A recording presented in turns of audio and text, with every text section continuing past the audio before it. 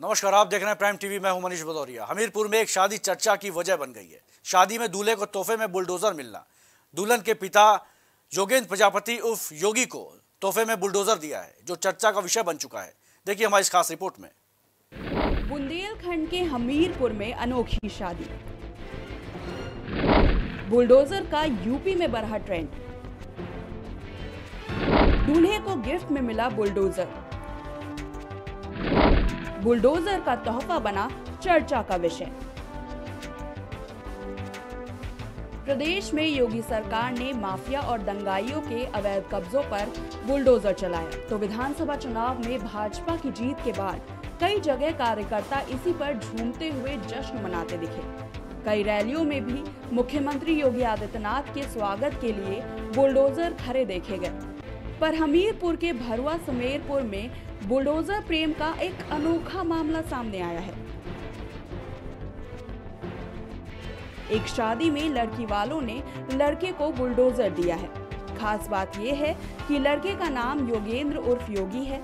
शादी में अपराधियों के विरुद्ध चलाया जा रहा बुलडोजर का गिफ्ट अब क्षेत्र में चर्चा का विषय बन गया है। शादी समारोह में चमचमाता गुब्बारों से सजा हुआ बुलडोजर लड़की के पिता ने अपने होने वाले दामाद को सौंपा।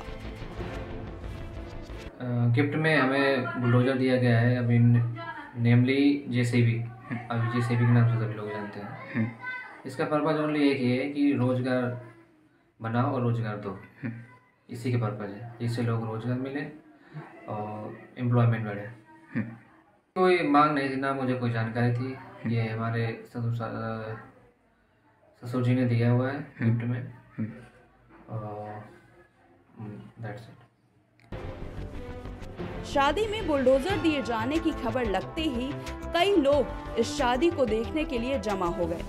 दरअसल मामला ज़िले के सुमेरपुर थाना क्षेत्र के देव गाँव का है। गाँव के रिटायर्ड सैनिक परशुराम प्रजापति ने अपनी बेटी नेहा की शादी नेवी में कार्यरत सौखर गाँव निवासी योगेंद्र उर्फ़ योगी प्रजापति से तय की।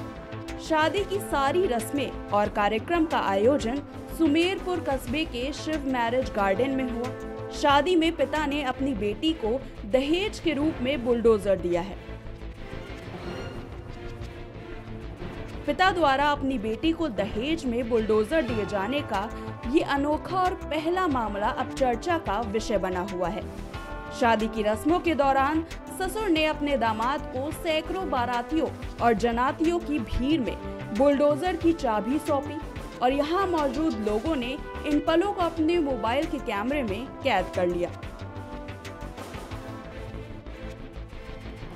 सोशल मीडिया में वायरल कर दिया है तो वही लड़के के पिता ने बताया कि कुछ ऐसा करे कि अगर बेटी की नौकरी ना भी लगे तो कम से कम उसकी आय होती रहे।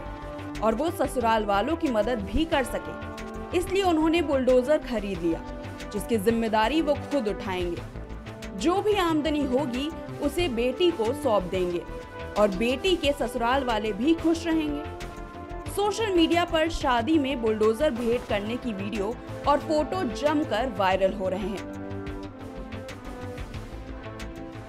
Bureau report, Prime TV.